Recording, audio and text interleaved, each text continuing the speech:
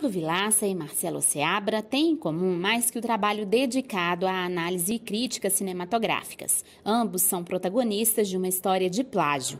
Marcelo, ainda nos tempos de faculdade de jornalismo, teve um trabalho acadêmico copiado por um colega de sala.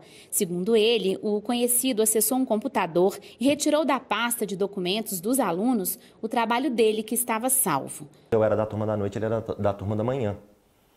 E ele pegou o meu trabalho, que ele escolheu pelo título. O título era stephenking.doc. E ele olhou e falou: opa, gosto, né? Stephen King. Pegou, imprimiu, entregou para o professor. Eu havia entregado para o professor na noite anterior e ele entregou na manhã seguinte.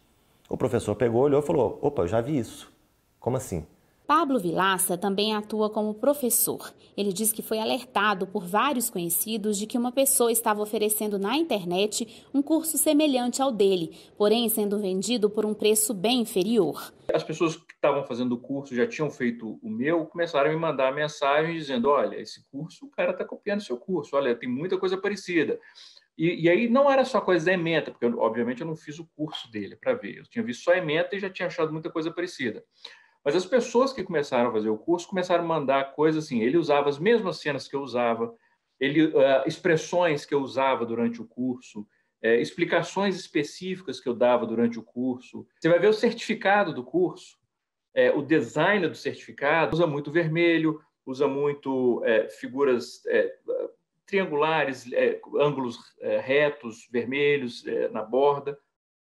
O certificado dele super parecido, mesma coisa. De acordo com o Código Penal Brasileiro, o plágio ocorre de três formas: quando há cópia total de uma obra sem a autorização do seu criador, ou de modo parcial, quando trechos são usados sem a citação da autoria, e até na forma conceitual, quando alguém utiliza-se da ideia ou da essência do trabalho de outra pessoa.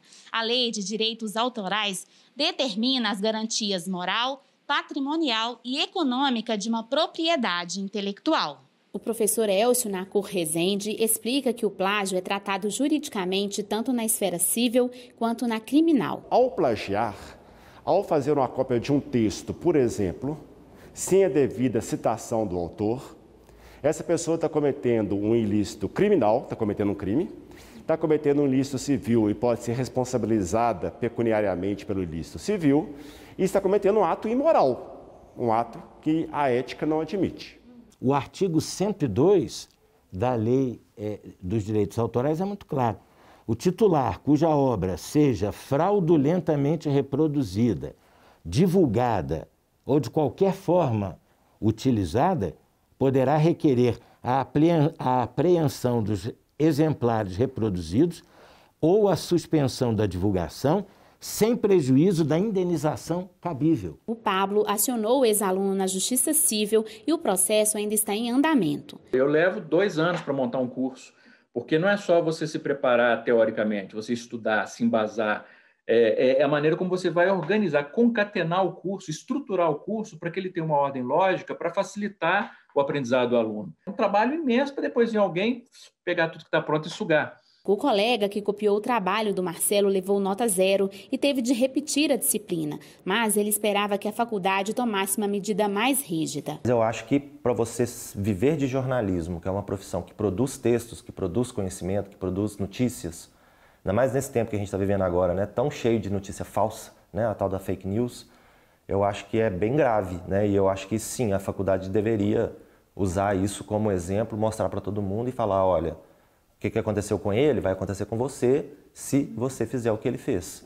Hoje, as faculdades contam com a ajuda de ferramentas tecnológicas. O professor Elcio trabalha com um programa capaz de identificar o plágio. O software gera um relatório de originalidade mostrando os índices de cópia, semelhança, documentos e fontes omitidas. Ele ressalta que a faculdade é quem deve decidir quais medidas tomar, mas que o Ctrl-C, Ctrl-V, o roubo de um trabalho ou ideia é algo ruim, não só para quem copia ou é copiado, mas para a sociedade. É importante sabermos, e aqui como professor de Direito, que ainda que a faculdade não faça absolutamente nada, e isso é poder discricionário dela, é a diretoria da faculdade que vai tomar uma medida disciplinar ou não contra o aluno, como eu disse, o plágio é um crime. Eu, pesquisador, sem dormir há um ano, tentando descobrir a cura da Covid-19, né? investindo meu tempo, meu dinheiro, e vem uma pessoa, entra no laboratório meu de madrugada e vai lá e consegue roubar. Inclusive a palavra plágio veio do latim plágio, que significa roubo. Então é importante termos a consciência que a sociedade perde, um pesquisador perde, né?